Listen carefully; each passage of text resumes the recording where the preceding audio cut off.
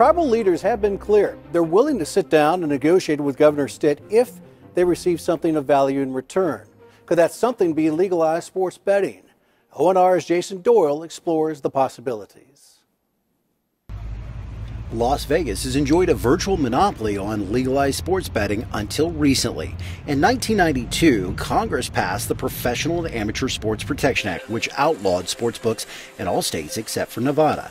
The U.S. Supreme Court struck down that law in 2018, giving all states the right to create their own legal sports gambling markets. 19 states have done that, and almost all of them have sought advice from Nevada regulators. I'm very proud to say that we um, consistently host other jurisdictions, whether they be other jurisdictions in the U.S. or internationally. They will always want to come to Nevada to see how we've done it because we've been able to do it so successfully over so many years. States that have adopted sports betting include New Jersey, Pennsylvania, and our neighbors Arkansas and Colorado. Texas, Louisiana, Missouri, and Kansas are considering sports betting legislation this year.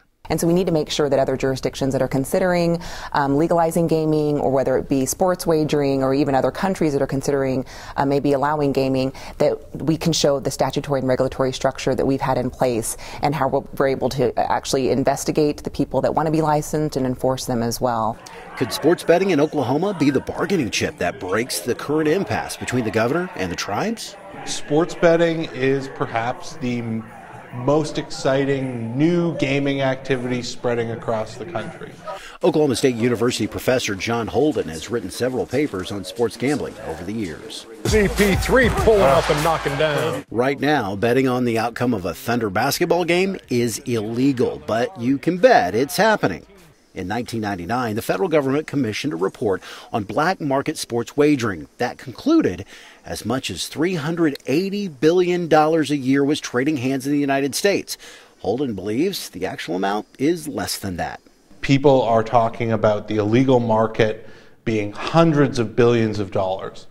In reality, what they're actually talking about is that's the total amount wagered and even that might be inflated. More cautious estimates believe that the amount of money being wagered illegally is probably around $150 billion. Which is still a big number. However, a bookie's take is just a fraction of that amount. Historically is closer to 5%. So that is a small portion of these large numbers floating around. So, those expecting to reap a windfall on legal sports betting in Oklahoma may be disappointed.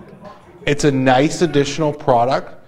It has been shown it can bring people into casinos, but a state looking to sort of solve all of its fiscal problems by sports bet, by adding sports betting to casinos or sort of their lottery offerings are going to be sorely disappointed. The, the money just isn't there. Slot machines and table games are much more lucrative for casinos than a legal sports book. Nevada over the years is sort of between 4 and 6% when you start expanding out and extrapolating on the revenues that the state or the sports books actually holding for themselves. Oklahoma tribal leaders have said any deal must make financial sense for the tribes. The smaller profit margins on sports betting make it more difficult for the state to offer a mutually beneficial proposal. I think once we start looking at sort of the economics behind it, the idea that offering sports betting as a means to break the impasse, it might be a smaller offering than has been suggested by some.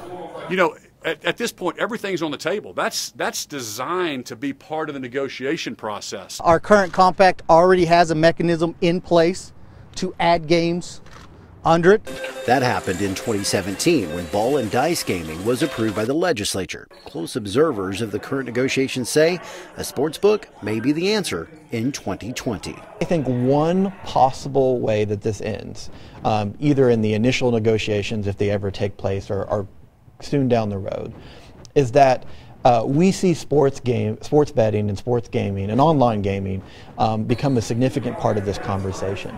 Jason Doyle, the Oklahoma News Report. Now, there is still no trial date set for the federal lawsuit filed by the Cherokee, Choctaw, and Chickasaw nations, which seeks to determine if the gaming compacts automatically renew or if they expired on January 1st.